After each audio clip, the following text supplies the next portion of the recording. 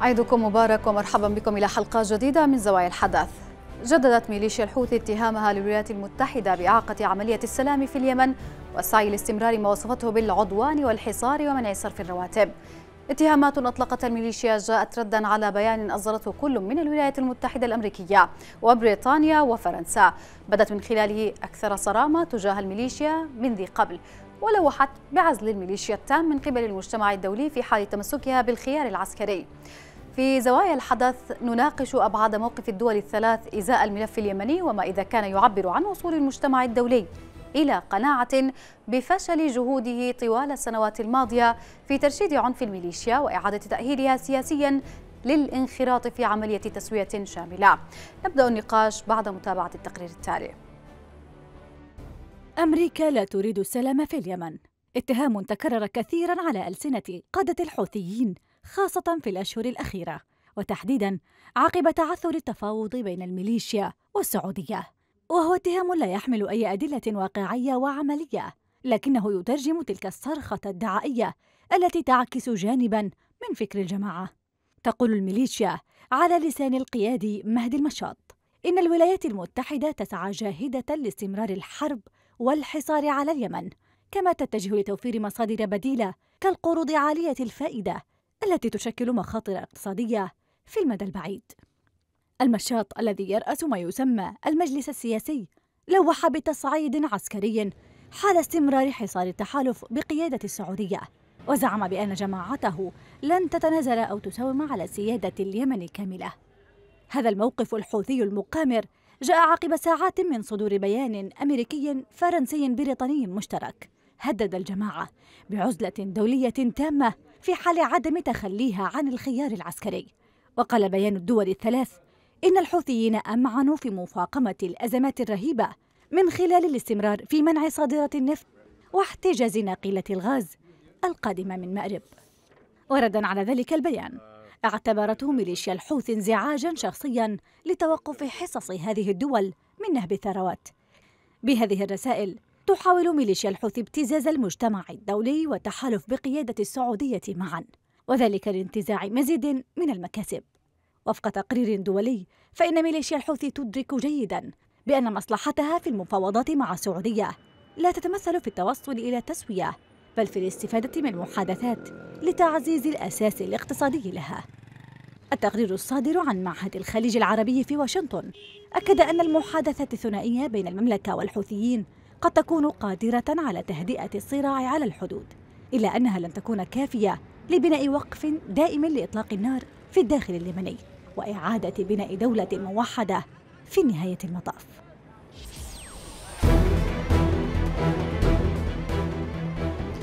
مشاهدينا أرحب بكم مجددا وأرحب بضيفي الصحفي الكاتب عبد الواسع الفاتكي. مساء الخير أستاذ عبد الواسع وعيدك مبارك. مساء الخير وعيدكم مبارك ومشاهدي قناه بالقيس شكرا لك. في البيان الثلاثي الذي ذكرناه قبل قليل في المقدمة وأيضا في التقرير لوحت الدول الثلاث بالعزل التام للميليشيا من قبل المجتمع الدولي في حال استمرارها بالتمسك بالخيار العسكري. ما واقعية ذلك برأيك؟ باستعراضنا لموقف المجتمع الدولي من الحرب الدائرة في اليمن أو من الأزمة اليمنية نحن لا نحتاج إلى أدلة دامغة لنعرف ممالأة وتواطؤ المجتمع الدولي مع الميليشيات الحوثية ثمان سنوات أو أكثر من التفاوض مع هذه الميليشيات ولم تفضي هذه المفاوضات أو هذه الحوارات إلى نتائج ملموسة لتحقيق السلام في اليمن. تستفيد وتتناغم الحركة الحوثية أو الحوثيون يستفيدون ويتناغمون مع توجه المجتمع الدولي لدعم الأقليات في المنطقة. ويستفيد أيضا الحوثيون من إصرار وتوجه المجتمع الدولي لإعادة تدوير وتأهيل هذه الميليشيات لتنتقل من المسرح العسكري إلى المسرح السياسي.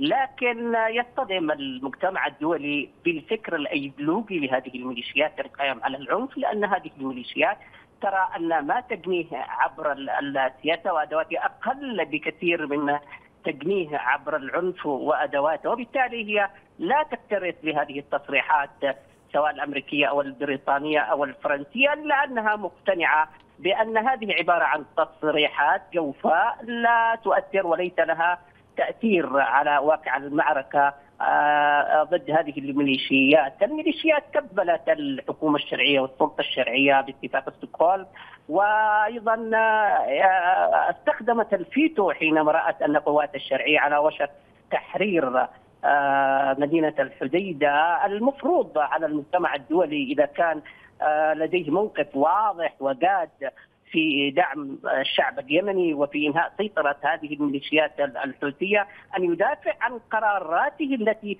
اتخذها القرار 22 16 اين ذهب هذا القرار؟ الذي ما زال حبرا على ورق المجتمع الدولي حينما اتخذ هذا القرار آه ولم يستخدم حق الفيتو الدول الكبرى لم تستخدم حق الفيتو لأنها كانت تدرك في الحقيقة بأن هذا القرار سيفرغ من مضمون ويفترض بالمجتمع الدولي أن يدافع عن قراراته، لماذا الولايات المتحدة الأمريكية آه تراجعت عن تصنيف الحوثيين كميليشيات إرهابية؟ هذه عبارة عن تصريحات تخبيرية فقط وقد يراد منها أيضا الضغط مستقبلا على الحكومة الشرعية لتقدم مزيدا من التنازلات، في الحقيقة المجتمع الدولي يتعامل مع الموجود على الأرض، تعامل المجتمع الدولي مع حركة طالبان، هو لا يؤمن بتطلعات الشعوب ولا يؤمن بالشرعية بمفردة الشرعية ولا يكترث أيضا للانقلابات على على الديمقراطية. هو يكيل بمكيالين بينما في وسائل الإعلام يضخ مزيدا من هذه المصطلحات كمصطلح السلام ومصطلح أيضا مصطلح المفاوضات. لكن في الحقيقة ليست هناك مواقف جادة تضغط على هذه الميليشيات.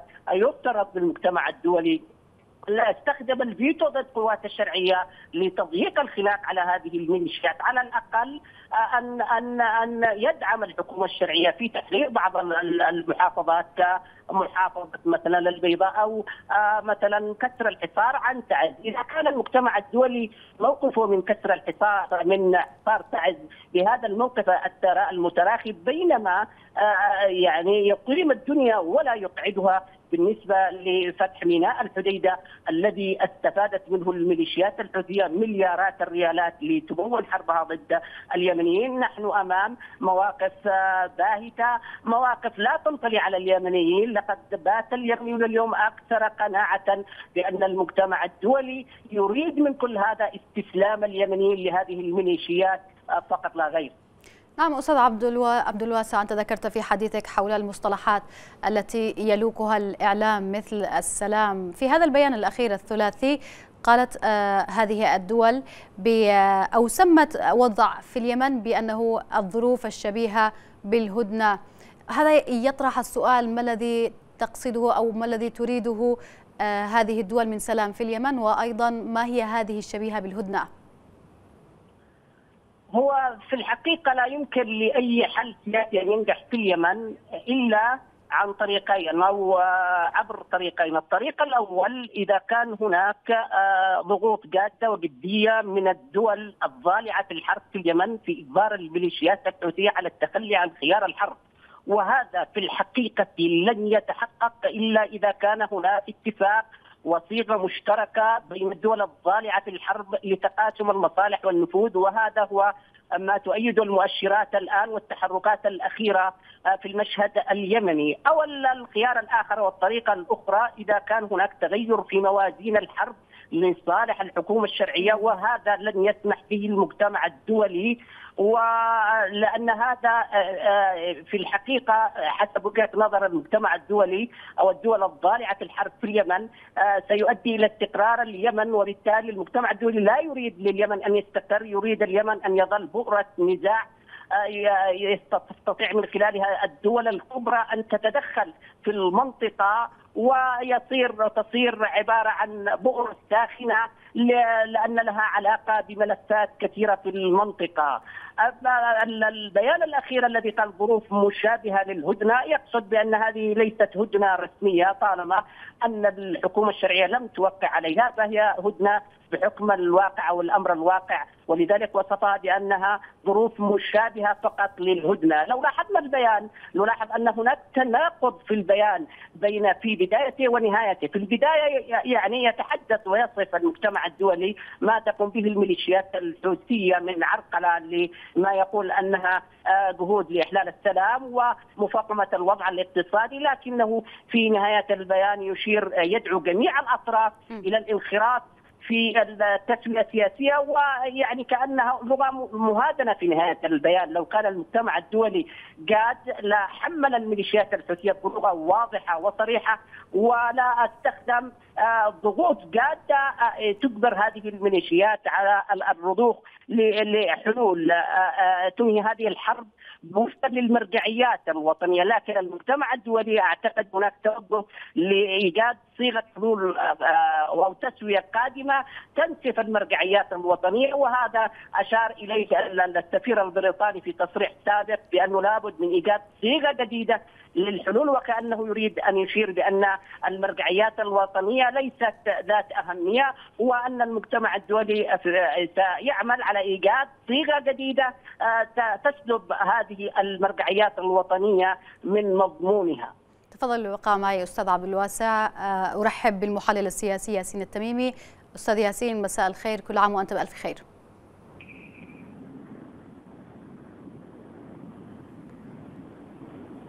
أستاذ ياسين. تفضلي لم أسمع السؤال. لم أسألك بعد هنأتك بالعيد ومساء الخير أيضا؟ كل عام وأنتم بالخير والصحة والسلامة. تحيه لك والمشاهدين والوفد الكريم. شكرا لك.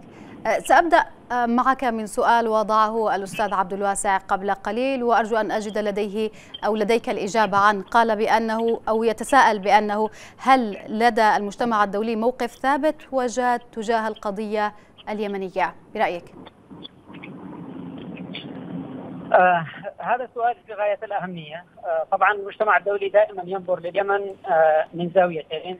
الزاوية الأولى تتعلق بمصالح الراسخة مع الدولتين الاقليميتين المتدخلتين في الشان اليمني.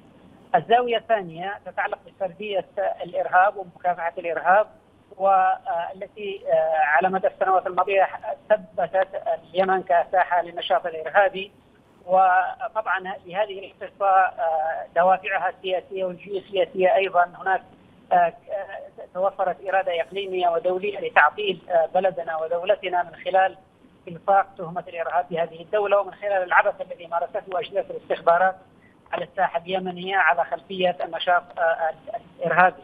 المجتمع الدولي هذه المرة أنا في تقديري أنه يحاول أن يغير مقارباته للوضع في اليمن بمعنى أنه يحاول أن يقلل من حالة الحضور الطاغي للمؤثر الإقليمي البارز وهو المملكة العربية السعودية التي استطاعت من خلال مبادراتها والتي كانت أيضا بدفع من الضغط الغربي استطاعت من خلال المبادرات التي أقدمت عليها والتي ذهبت بعيدا إلى الحد الذي لم يكن يتوقعه أحد وهو التعاطي بشكل مباشر مع جماعة الحوثي والانفتاح على جماعة الحوثي واحتكار المشهد اليمني وإقامة مسارات عديدة على الساحة اليمنية. مسار أنتج المجلس الانتقالي ومسار أنتج مجلس حضرموت الوطني هناك لكن أكثر ما أثار الغرب أيضا التفاهمات الإيرانية السعودية هذه التفاهمات أعتقد أنها ازعجت الغرب وعطلت قدرته على التعاطي مع قضايا المنطقة ضد رمتها ليس فقط على الساحة اليمنية. ولهذا أنا أعتقد أن البيان الثلاثي اليوم فيما يتعلق برغبة الغرب في تحجيم الحوثي هو موجه في المقام الأول لإيران وللتفاهمات الايرانيه السعودية وبالإضافة إلى السعودية وإلى الخطوات التي أقدمت عليها والتي من الواضح أنها على حساب أولويات الأزمة اليمنيه وثوابتها ومرجعياتها حيث نرى اليوم تعطيلا للشرعيه وتفكيكا للشرعية وتعطيلا للقوى الوطنية ولاراده الشعب اليمني والأمور تتجه تقريبا إلى تقرير مصير البلد على قاعدة احترام المصالح المصالح المتدخلين الاقليميين واولوياتهم على الساحة اليمنية للاسف الشديد. نعم مع ذلك الحوثيون أيضا ما زالوا يستمرون بتهديد السعودية أو التحالف بشكل عام بضربات أقوى وبعودة تصعيد بأسلحة نوعية كما يقولون برأيك هل يستطيع التحالف وبين قوسين السعودية وضع حد للحوثي؟ التهديدات الأخيرة التي أطلقها الحوثيون من خلال المناورات التي أقاموها في الجو يفترض أنها يعني تمثل مصدر استفزاز للمملكة العربية السعودية. لكن هذه التهديدات جرت فيما وفد يمثل الحوثيين في السعودية يتواجد اليوم لأداء فريضه الحج هذا الوفد يحظى بمعاملة جيدة ويتساءل المرء كيف يحدث هذا يعني في في وقت واحد يعني تصعيد من جانب الحوثيين ورعاية كاملة لوفدهم في الشاعر في الديار المقدسة. نعم. آه الأمر طبعا يتعلق بحرص الحوثيين على استنفاذ كل الإمكانيات المتاحة من خلال الملف الإنساني وهو ما لم يحصل ما لم يحصلوا عليه حتى الآن بشكل كامل، لهذا يمارسون ضغطا دعائيا واستراتيجيا على المملكة العربية السعودية من خلال هذه المناورات. لو كان الموقف الغربي آه، أتى على خلفية الاستفزازات السعودية هذه آه، فهو آه، يعني موقف متقدم للغاية لكن أعتقد أن الكثير من الأوراق تختلط أمام هذا يعني لتصنع هذا الموقف الغربي يعني ليس فقط ما يقدم عليه الحوثيون من استفزازات وإنما تختلط عدة أوراق ومنها الدور السعودي الطاغي على الساحة اليمنية الحكومة السعودية الإيرانية.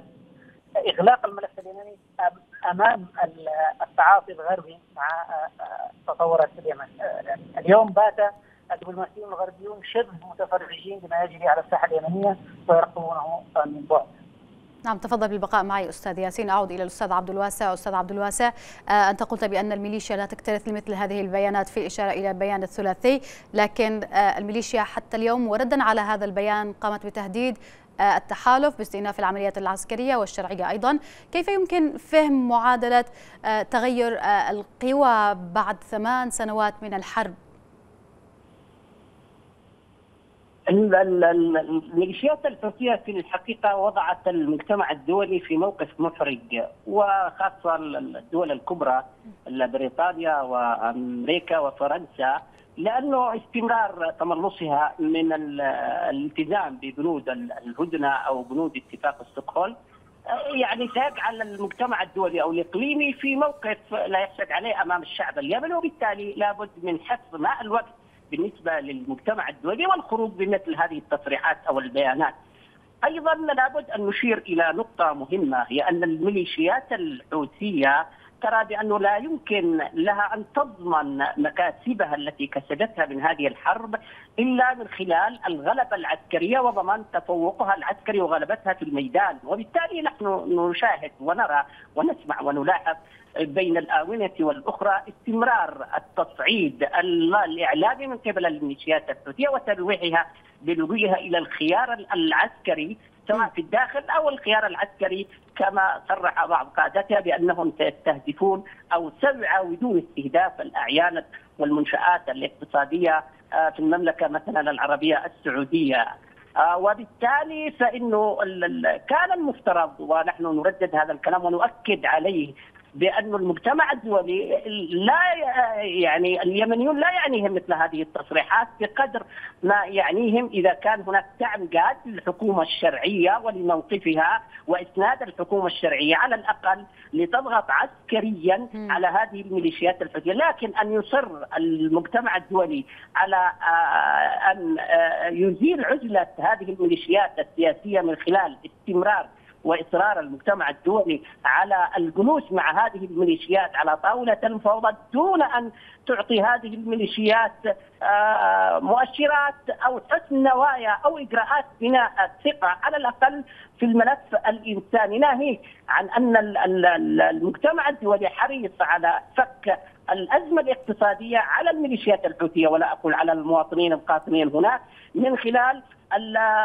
الضغط أو إقناع الحكومة الشرعية أو الضغط على الحكومة الشرعية بفتح ميناء الحديدة الذي يمثل مورد رئيسي هام جدا لاستمرار الحرب آه، ضد اليمنيين. وبالتالي فإنه لا يعني اليمنيين مثل هذه التصريحات ما لم يكن هناك خطوات جادة وملموسة على الأرض وفي دعم الحكومة الشرعية لكن أن يضغط المجتمع الدولي على أن يساوي بين الحكومة الشرعية وبين الميليشيات الحوثية ويخرج هذه الميليشيات الحوثية من دائرة التمرد العسكري كفصيل عسكري إرهابي مناوئ للحكومة الشرعية ومنقلب على المرجعيات الوطنية ويحاول آه، ويعمل جاهدا على أن الحوار والحل هو الوحيد وبحسب آه، كلامك أستاذ عبد الواسع فهمت من كلامك؟ لكن إذا كان حوار نعم. وتفاوض آه، يساهم في إسقاط الانقلاب نعم. ويعيد مؤسسات الدولة. لكن هناك أستاذ عبد الواسع. انفصام في الخطاب بالنسبة للمجتمع الدولي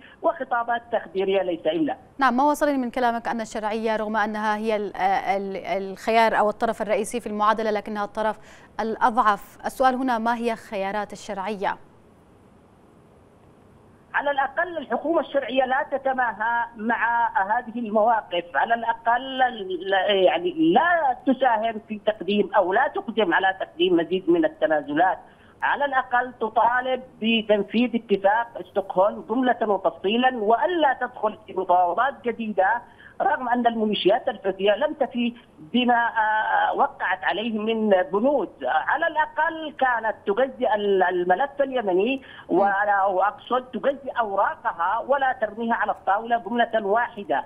ففي حصار مثلا ملف حصار تعز وافقت الحكومة الشرعية على فتح ميناء آه، الحديدة ومطار صنعاء ومع ذلك غضت النظر عن تعز. معابر أو طرق تعز. كان نعم. الأولى بها أن مثلا أن توافق على فتح مطار صنعاء وتؤجل فتح ميناء الحديدة لتختبر نوايا الميليشيات الحوثيه لكن رمت في أوراقها دفعة واحدة ثم عادت تطالب المجتمع الدولي. هناك خطأ أعتقد في مسار المفاوضات. من قبل الحكومة الشرعية. هناك استجابة سريعة لمطالب المجتمع الإقليمي. هل تريد الحكومة الشرعية أن تكسب شهادة حسن سيرة وسلوك من المجتمع الدولي مقابل التفريط بهذه التضحيات الكثيرة التي ضحى بها اليمنيون؟ هذا سؤال يدعو آه، إلى الدهشة وأيضا سؤال يحتاج إلى إجابة. شكرا جزيلا لك الأستاذ عبد الواسع الفاتكي الكاتب والصحفي. أشكرك جزيل الشكر. أعود إليك أستاذ ياسين. آه، الأستاذ عبد الواسع يقول هناك أخطاء آه، في أداء الشرعية في المفاوضات. ما رأيك؟ أتفق معه. ليس فقط فيما يتعلق بأخطاء الشرعية بل بالخطأ الذي انتج الشرعيه اليوم الشرعية بهيئتها الحالية خطأ. آه، تركيبتها خطأ. آه، مفعولها خطأ. وليس فقط آه، يعني بعض أداءاتها. بالتأكيد الشرعية اليوم لم تعد لها علاقة بمصالح اليمنية العليا. القضايا التي تهم اليمن أعتقد أنها تم مصادرتها بالكامل من السلطه الشرعية. تقرير مصير اليمن سحب من يد السلطه الشرعية ولهذا الشرعية لا يمكن تقييم بعض أداءاتها وإنما آه، الحكم عليها بالمجمل لأنها كارثة الشرعيه الحالية بشكلها الحالي المتمثل في مجلس آه، القيادة الرئاسي أو في الحكومة التي آه، تشكل خليطا من متناقضات ومشاريع سياسية نعم. متضادة وغير متصالحة بل ومعاديه للمصلحة العليا للأسف الشديد. أستاذ ياسين هذا بالنسبة للشرعية وأدائها، ماذا عن السعودية وأدائها في هذه المفاوضات؟ هناك من يقول بأن السعودية ستقدم المزيد من التنازلات طالما الأمر يتعلق بسلامة مصالحها السيادية وفي مقدمتها أرامكو بين قوسين. هذا هو السبب. هذا آه، عندما تحدث آه، آه، الأخ عبد الواسع قبل قليل التنازلات التي قدمت الحوثيين لا علاقة لها بتنازلات متبادلة بين الشرعية والحوثيين لا ما يحصل عليه الحوثيون هو مقابل الضغط العسكري الذي مارسوه خلال الفترة الماضية. وهذا الضغط العسكري جاء نتيجة آه، توقف العملية العسكرية ضد جماعة الحوثي أو لأن العملية العسكرية لم تستهدف القوى الحقيقية للحوثيين ولم تسمح بتقدم الجيش في اتجاه صنعاء وإلا لما امتلك الحوثيين القوى التي من خلالها يستطيعون آه، إحداث توازن الرابع الذي تحقق خلال الفترة الماضية آه، بطبيعة الحال المسار مشوه للغاية.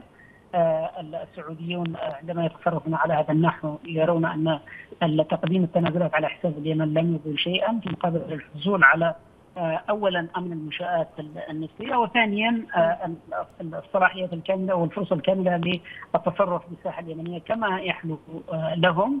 وهذا هو البعد الآخر والأخطر بطبيعة الحال الذي ينبغي التنبه إليه جراء الممارسات التي تقوم بها المملكة العربية السعودية، طبعا المملكة العربية السعودية اليوم هي التي تتولى المفاوضات وهي التي تديرها نحت جانبا السلطه الشرعية وهي التي تقدم التنازلات. نعم. السلطه الشرعية ودون أن تكون هناك حاجة للتشاور مع السلطه الشرعية.